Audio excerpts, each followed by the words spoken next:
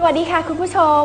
ข่าวแรกวันนี้เราไปดูพระนางน้องใหม่นายนภัสและไอซ์ปรีชยาจากละครรักกันพลวัน ที่หอบพลังกลับมาลุยงานกันแบบร้อยเปอร์เซ็นต์แล้วค่ะ หลังจากที่สร้างกำลังใจให้ตัวเองด้วยการนำพระราชดำรัสของพ่อหลวงมาเป็นที่ยึดเหนี่ยวจิตใจ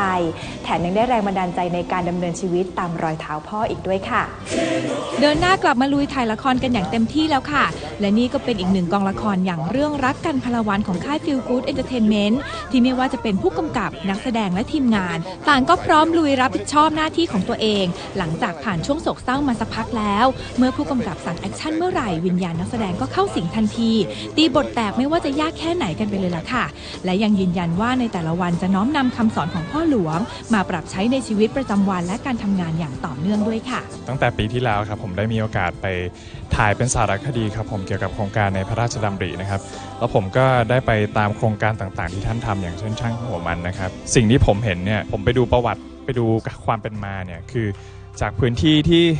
เป็นป่าหรือว่าเป็นสถานที่ที่ไม่สามารถใช้ทำมาหากินอะไรได้นะท่านทรงงานหนักมากเพื่อที่จะเปลี่ยนสถานที่นั้นเป็นสถานที่โครงการเพื่อให้คนเนี่ย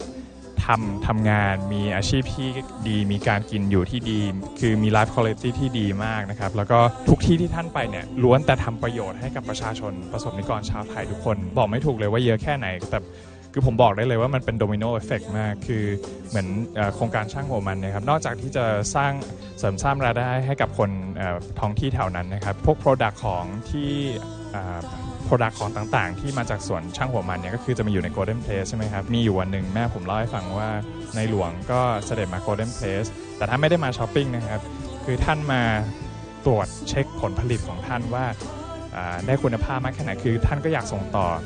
อของที่มีคุณภาพเป็นออร์แกนิกเกี่ยวกับสุขภาพเนี่ยให้คนไทยได้รับประทานกันด้วยนะครับจริงๆแล้วมีหลักคำสอนหลาย ๆ อย่างเลยค่ะ ที่สามารถนำมาใช้ในการดำเนินชีวิต ส่วนตัวไอ้เองเนี่ยง่าย ๆ เลยก็คือเรื่องความพอเพียงค่ะ ในการ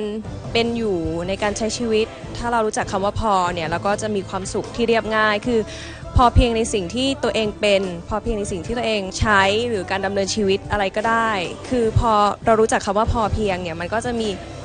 มันก็จะมีความสุขเองอะค่ะ ซึ่งมันซึ่งมันเรียบง่ายมากๆ แล้วก็สามารถทำได้จริงอะค่ะทางด้านสามหนุ่มอารมณ์ดีฝันดีฝันเด่นและหยวนนิธิชัย ก็ภูมิใจที่ได้เกิดในแผ่นดินรัชกาลที่ 9 แถมล่าสุดยังปลื้มใจสุดๆ ไม่ได้รับเกียรติจากรายการตีท้ายครัว ให้มานั่งเป็นตัวแทนลูกๆ ในวงการบันเทิง พร้อมเปิดใจถึงโครงการในพระราชดำริ ที่ทั้ง 3 คนขอสานต่อรอยเท้าพ่ออีกตลอดไปด้วยค่ะ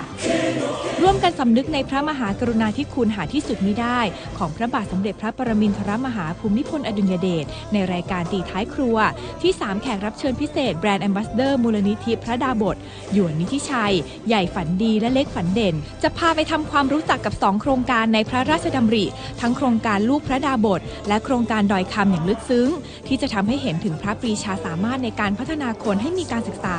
สร้างอาชีพให้ชาวดอยและอีกมากมายหลายด้าน เรียกว่าเป็นตีท้ายครัวเทปพิเศษ ที่ทีมงานทุกคนตั้งใจทำกันอย่างเต็มที่ ด้วยหัวใจที่รักและเทิดทูนพ่อหลวง วันอาทิตย์นี้บ่าย2โมงตรงทางช่อง 33 ค่ะ วันนี้มาเป็นตัวแทนของมูลนิธิพระดาบทที่หยนเองแล้วก็พี่ๆทุกคนนะครับ ก็พูดได้อย่างเต็มหัวใจเลยว่าเป็นมูลนิธิของพ่อหลวงของหนูจริง ๆ เพราะว่าพระองค์ท่านเป็น ประธานกรรมการกิตติมศักดิ์ก็บอกเลยว่าเป็นมูลนิธิของคนไทยทุกคนนะครับ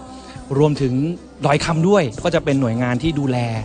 พี่น้องคนไทยลูกพ่อหลวงต่อไปครับ ตัวผมใช้มาโดยตลอดก็คือ ขยันอดออม แล้วก็ซื่อสัตย์ทำให้ตัวผมเนี่ยยืนอยู่ในสังคมหรือว่าการที่จะทำอะไรแล้วเนี่ยไม่รู้สึกว่าอายใคร ไม่ว่าจะเป็นเรื่องอะไรก็ตาม บนพื้นฐานแห่งความถูกต้อง หรือว่าความซื่อสัตย์สุจริตเนี่ยมันจะเป็นเกราะคุ้มกัน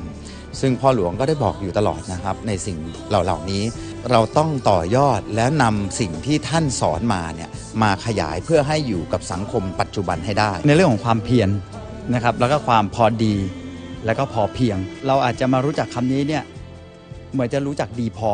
ที่ผ่านมา แต่อาจจะไม่ไม่พอดีก็ได้ เรายังคงดำเนินความพอดีและพอเพียง ขยับให้มันให้มันพอดีกับเราจริง ๆ ในชีวิตก็มีอยู่แค่ 3 อย่างคือ ชาติ ศาสนา พระมหากษัตริย์ มีแค่ 3 อย่างนี้จริง ๆ ที่เป็นที่พึ่ง ถ้าเราอยากให้ชีวิตเราดี อยากเปลี่ยนตัวเองให้ดีขึ้นไม่ยากเลยครับ แค่ลองรักพระเจ้าอยู่หัวแบบสุดหัวใจ เป็นที่พึ่งของชีวิต แค่นี้เองครับ